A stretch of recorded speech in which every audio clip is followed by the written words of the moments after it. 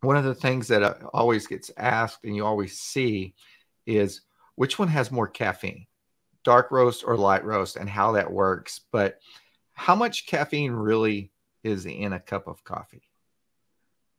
Well, so um, it depends on who you ask.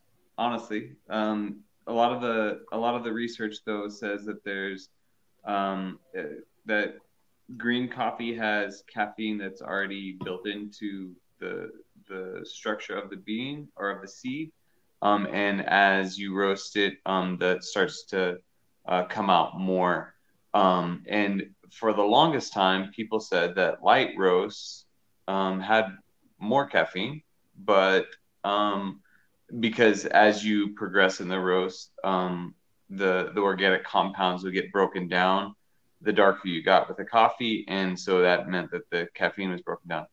But um, in probably the last five to ten years or so, that's kind of been dispelled to now um, it's essentially the same, um, light or dark, whichever one.